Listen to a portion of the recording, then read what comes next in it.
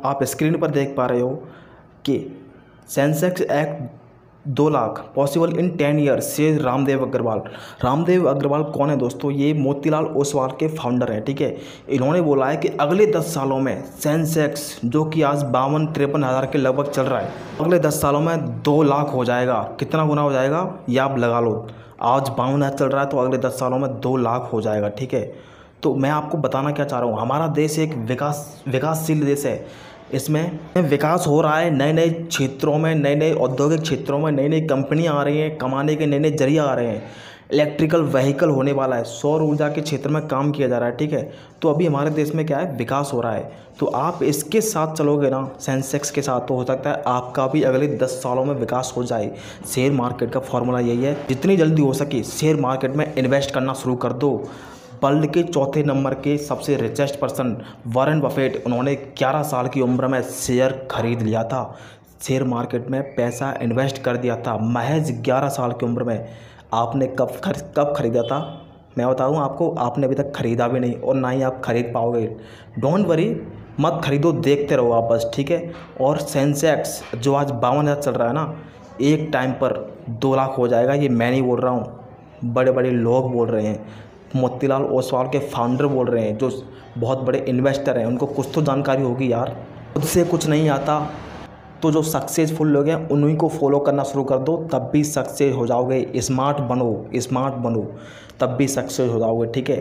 तो आपको देख लो क्या करना है। और आज मैं आपको दिखा दूँ कि आज सेंसेक्स क्या चल रहा है। तो सेंसेक्स आज के टाइम पर बावन हज़ार तीन सौ चवालीस रुपये है, जो कि रामदेव अग्रवाल बोल चुके हैं कि अगले दस सालों में दो लाख हो जाएगा।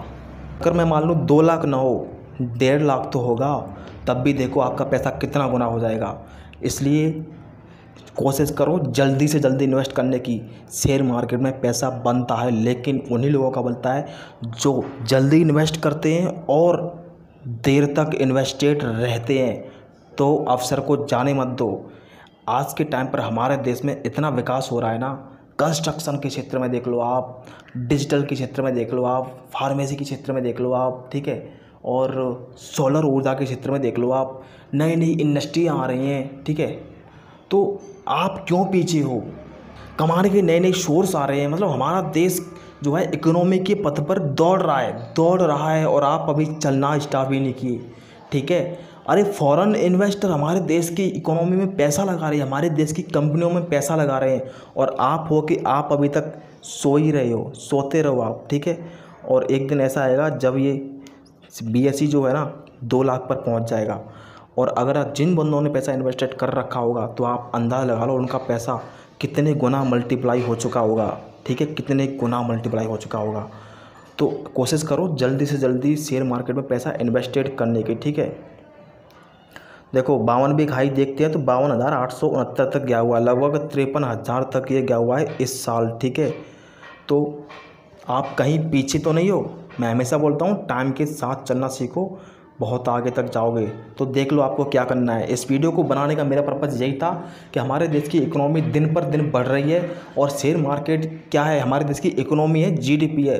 हमारे देश की इकोनॉमी बढ़ेगी तो आपका पैसा भी बढ़ेगा। तो जाग जाओ और इन्वेस्ट करना शुरू कर दो। ठीक है? बाद में मत बोलना कि किसी ने बताया नहीं था। इन्फॉर्मेशन के तौर पर देने के लिए मैं आपको, मैं रोज़ वीडियो बनाता हूँ, रोज़ इन्फॉर्म देता हूँ, कुछ ना कुछ नई इन्फॉर्मेशन देता हूँ। कुछ नहीं तो शेयर मार्केट के बारे में शेयर्स के बारे में बताता रहता हूँ, ठीक है?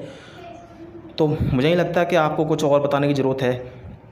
बाकी आप देख ही सकते हो कि दिन पर दिन सब कुछ बढ़ता जा रहा है, लेकिन आप कहीं नहीं बढ़ रहे हो। आप रोज़ सुबह जाग रहे हो और खा पी के दिन पर काम कर रहे हो और रात को दस बारह बजे तक फ़ोन में लग करके सो जा रहे हो।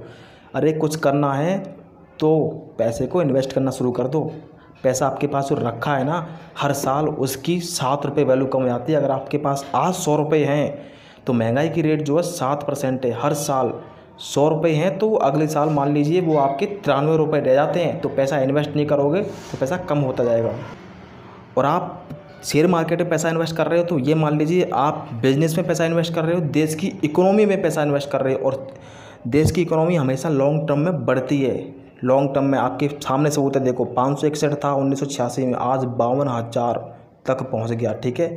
तो ठीक है दोस्तों, आज के लिए इतना ही काफ़ी, चलते हैं अगली वीडियो के लिए, तब तक बाय बाय